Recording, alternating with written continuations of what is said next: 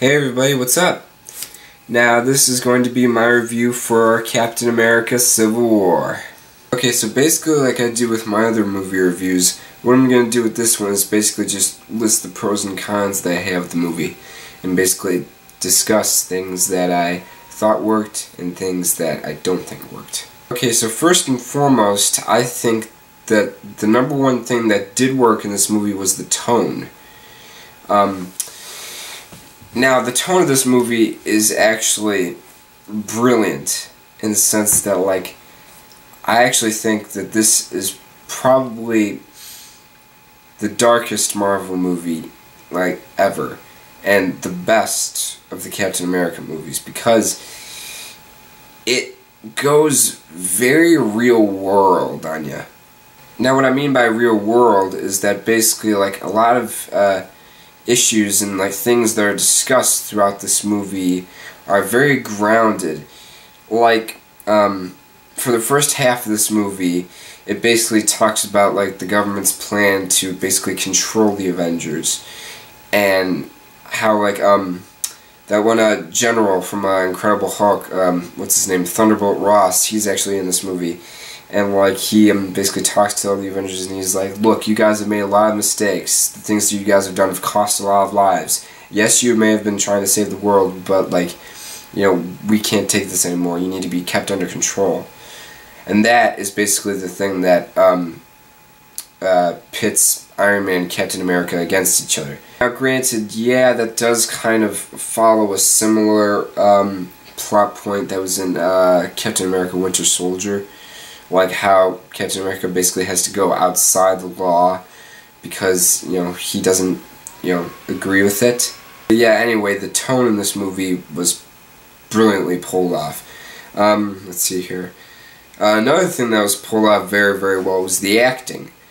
Pretty much everybody in this movie does a good job, which isn't really surprising since they've been playing these characters for so long.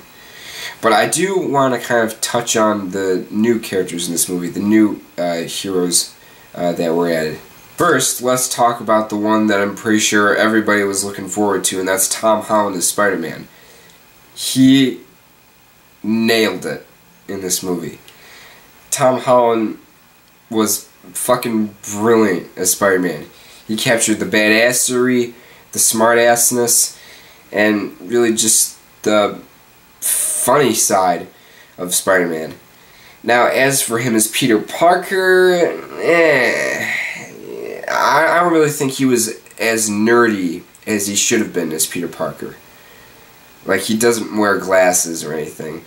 And, by the way, the actress they picked to play Aunt May didn't look the right age. And, um, also, uh, his costume I'm sorry, but like Spider-Man's costume in this movie looks super fake. It looks noticeably CGI. Now I don't know if it was or not, but I mean, like the shots of him swinging around, like he, it looks so much like he's CGI. Now I don't know if Tom Holland was wearing a motion capture suit on set or what, but I hated the way the costume looked. Now there is only one shot one shot where it does look real, like like a shot when he's just standing still, but every other shot, like when he's moving around, looks so fake.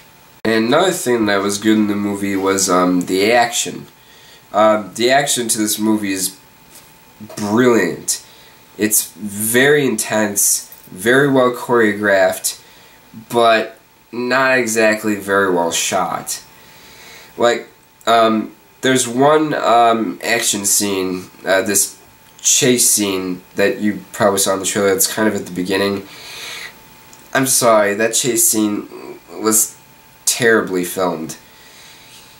I mean, there are obviously action scenes in other movies that are far worse filmed, but like that one chase scene that was in the trailer, you know, with um, uh, Black Panther, um, uh, Bucky, and uh, Captain America it, there's a couple too many shaky cam shots in there, I'm sorry. Now, as for my cons with the movie, um, probably the two biggest cons that I have in this movie are um, the ending and the villain. The ending to this movie kind of underwhelmed me in the sense that like I didn't it, it, it didn't end the way I expected it to. And that the ending was pretty predictable in the sense that like um if you've seen the other Marvel movies you probably know how this movie's to end and it just really felt like a cop out. And as for the villain, uh, the villain in this movie is basically just another Red Skull, but not exactly the same as Red Skull. He's basically just another another Hydra guy with an accent who doesn't really. He's not really that interesting. I mean, granted, he, his motivation in this movie is very clear, but I just didn't find him all that memorable like other Marvel villains. And listen, okay, I know this may sound like blasphemy to some fans, but I honestly think the best Marvel villain we've had so far is Ultron.